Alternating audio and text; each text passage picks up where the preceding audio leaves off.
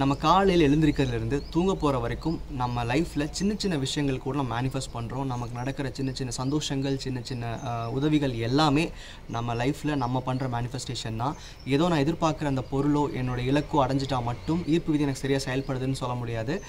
நான் எதிர்பார்க்குற விஷயங்கள் தவிர என்னோடய அன்றாட வாழ்க்கை கூட என்னால் நினச்ச மாதிரி என்னோட எதிர்பார்ப்புக்கு தகுந்த மாதிரி மாற்றிக்க முடியும். அதுக்கு நீங்கள் ஈர்ப்பு விதியை சரியாக பயன்படுத்தலாம். இன்றைக்கி நம்ம பார்க்க போகிற சக்ஸஸ் ஸ்டோரியும் அதை எக்ஸ்பிளைன் பண்ணுற ஒரு விஷயம் தான்.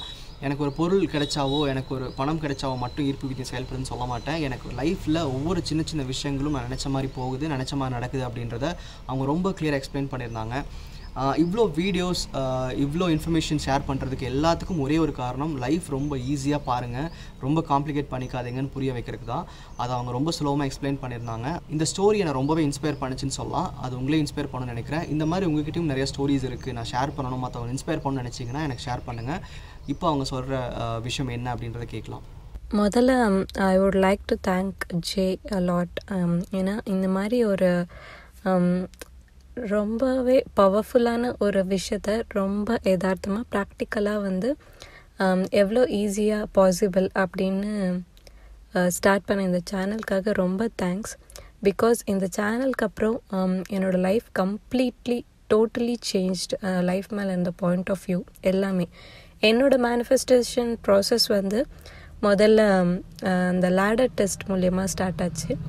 அண்ட் அந்த லேடர் டெஸ்ட் அப்போ வந்து எனக்கு அவ்வளோ பெருசாக நம்பிக்கைலாம் இல்லை. Just I just gave a try அவ்வளோதான் பட் அது ரொம்ப um, கிராஜுவலாக நடந்த விஷயம். ஸோ அதுக்கப்புறம் uh, அந்த சக்ஸஸ்க்கு அப்புறம் ஐ காட் um, நம்ம எல்லாருக்கும் ஒரு டேஸ்ட் கிடைக்கும் இல்லையா? சக்ஸஸ் கிடைச்சப்புறம் ஸோ சம்திங் அதில் ஏதோ எனக்கு தோணுச்சு. ஓகே லைஃப் இஸ் ஈஸி நம்ம நினைக்கிற அளவுக்கு ஹார்டாக இல்லை அப்படின்னு. ஸோ அதுக்கப்புறம் சின்ன விஷயம் பெரிய விஷயம்னு இல்லாமல் everything went on so fine நான் மேனிஃபெஸ்டேஷன் பண்ண ஒவ்வொரு விஷயமுமே ரொம்ப சுலபமாக எனக்கு கிடைச்ச கிடைக்க ஆரம்பிச்சிச்சு. நம்மளுக்கு சின்ன வயசுலேருந்து அந்த எல்லாத்துக்கும் கஷ்டப்படணும் எல்லாத்துக்கும் கஷ்டப்பட்டால் தான் கிடைக்கும் அதுதான் நிலைக்கும் அப்படின்றத தாண்டி உலகம் எப்படி இயல்பாக இயங்குது நம்மளுக்கும் உலகத்துக்கும் இருக்கிற அந்த யூனிவர்ஸ்க்கும் இருக்கிற தொடர்பு அதெல்லாம் விவரித்த விதம் வந்து ரொம்பவே பியூட்டிஃபுல்லாக இருந்தது. ஸோ இது என்னோடய சக்ஸஸ் ஸ்டோரி வந்து சொல்லணுன்னா ஒரு நாளெல்லாம் கூட முடியாது. ஏன்னா ஃப்ரம் த டே இந்த நான் இந்த சேனலை பார்க்க ஆரம்பித்த அந்த டேலேருந்து இன்னைக்கு வரைக்கும். ஸோ நான் என்னென்ன நினைக்கிறேனோ அது எல்லாமே நடக்குது. இது சின்ன விஷயம் பெரிய விஷயம் அப்படின்னு செப்ரேட் பண்ணவே முடியாது. ஸோ அது ஒரு ரொம்ப ப்ராக்டிக்கலான ஒரு விஷயம் அப்படின்றது தான் இந்த சேனலை நான் மெயினாக புரிஞ்சுக்கிட்டேன். அண்டு அது சந்தோஷமாக இருந்தாலும் சோகமாக இருந்தாலும் அது கண்டிப்பாக நாம் தான் ஈர்க்கிறோம் இந்த உலகத்துக்கிட்டேருந்து அப்படின்றதையும் நான் மெயினாக புரிஞ்சுக்கிட்டேன் அண்ட் uh, இந்த ஃபீல் வந்து ரொம்ப நல்லாயிருக்கும். இதில் மெயினாக ரொம்ப மேஜராக நான் கற்றுக்கின விஷயம் என்னென்னா எந்த எந்த சூழ்நிலையும் எவ்வளோ கஷ்டமான நிலமையிலையும் you won't feel like I this is the end of my life அப்படின்னு கண்டிப்பாக தோணவே தோணாது. ஏன்னா uh, நீங்கள் அந்த சக்ஸஸை டேஸ்ட் பண்ணதுனால always you will have that இது கண்டிப்பாக என்னால் மாற்றிக்க முடியும். அது ரொம்ப சுலபமான ஒரு விஷயந்தான் அப்படின்றத வந்து புரிஞ்சுக்கிட்டேன். எந்த சூழ்நிலை மு இதுக்கு முன்னே ஏதாவது பிரச்சனை வந்தால் அவ்வளோதான் நம்ம லைஃப் இதோட முடிஞ்சு போச்சு. This is end of my life அப்படியெல்லாம் யோசிக்க தோணும். பட் um, இந்த மேனிஃபெஸ்டேஷன் ப்ராசஸ்க்கு அப்புறம் ஒரே ஒரு நிமிஷம் கூட அந்த மாதிரி தோணுனதே இல்லை.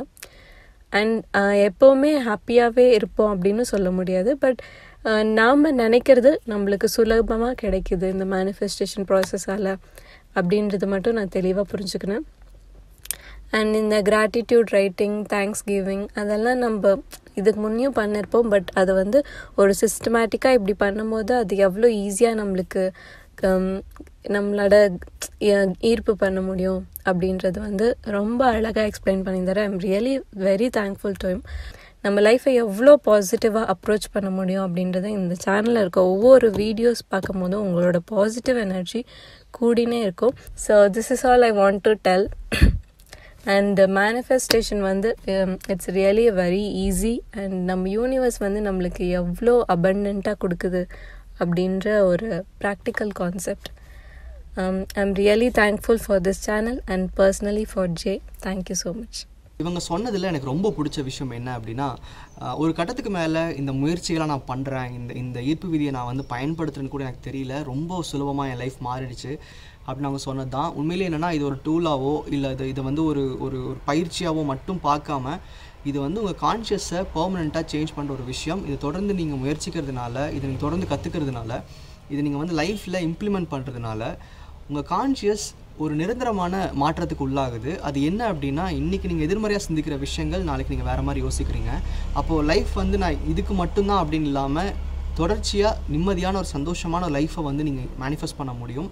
அது இவங்களோட ஸ்டோரி எனக்கு ரொம்பவே எக்ஸ்பிளைன் பண்ணுச்சுன்னு சொல்லலாம். ஹோப்ஃபுல்லி இது உங்களுக்கு புரிஞ்சிருக்கும். முதல்லயே நான் நிறைய வீடியோஸில் சொல்லியிருக்கேன். இது ஒரு டூலாக பார்க்காதீங்க. லைஃபோட ஒரு அங்கமாக பாருங்கள் உங்களோட தினசரி வாழ்க்கையில் இதை ஒரு பார்ட்டாக மாற்றிக்கோங்க லைஃப்பில் நிறைய சேஞ்சஸ் நீங்கள் பார்க்க முடியும். ஹோப்ஃபுல்லி இந்த ஸ்டோரி உங்களை இன்ஸ்பயர் பண்ணியிருக்கும் நம்புகிறேன் நன்றி.